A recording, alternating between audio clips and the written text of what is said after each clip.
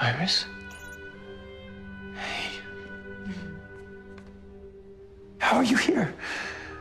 How is this possible? Deon was able to stabilize me enough to come back until he can find a permanent cure. Thank God. I've missed you so much. Hmm. It's been impossible without you here with me. I'm here now. And I'm gonna be fine. With everything that's happened, the war, you needing to heal, and the still force. Is everything okay? Yeah, yeah, now that you're back, it's perfect.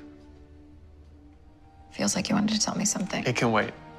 Iris, uh, so much has happened.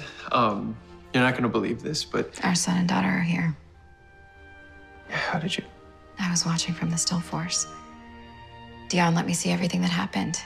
And yeah, they're amazing. I mean, Nora, she's all grown up and Bart, he's already a young man. It's it's incredible.